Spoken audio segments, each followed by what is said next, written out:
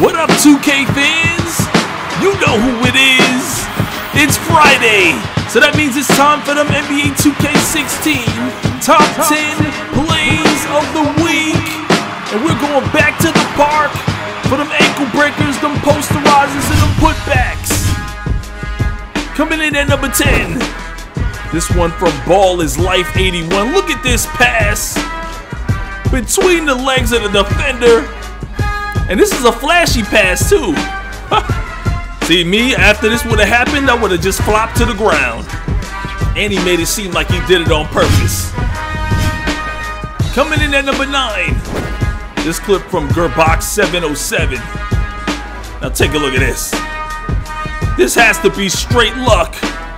There's no way he did this on purpose. But it's amazing. He threw up a shot over his shoulder with his left hand and it just goes in. This when throwing an alley-oop goes wrong. At number 8, this clip in from Jarek. Take a look at this.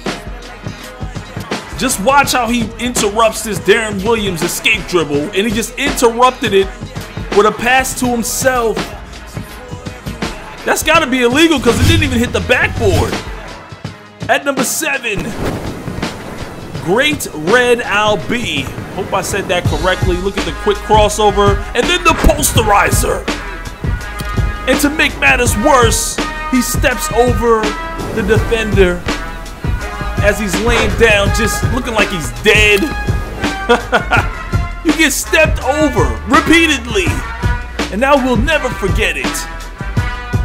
I swear somebody kicked his dead legs while he was laying on the ground. Look how long it takes for him to get up off the floor. At number six, hope I said this correctly, Jones, 15-0.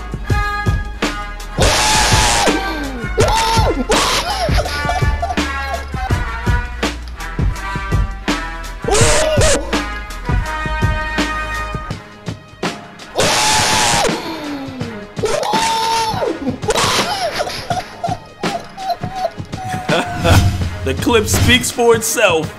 At number five, Ty Bought Lad. I hope I said that correctly. Look at this block. He goes over.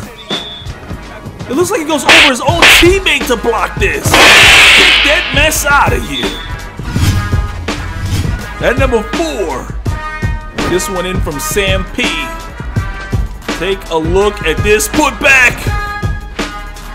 I haven't seen this in a while. He catches it, puts it between his legs, and goes over the mascot's head. Coming in at number three, we've got a clip coming in from Godly Drip. This is a big man crossover.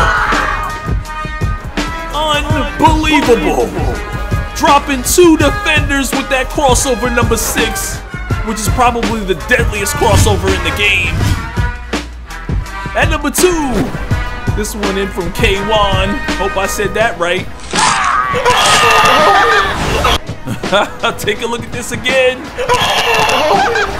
Normally I don't show any love to the Jamal Crawford, but when you drop two people. Coming in at number one, this one in from Miles.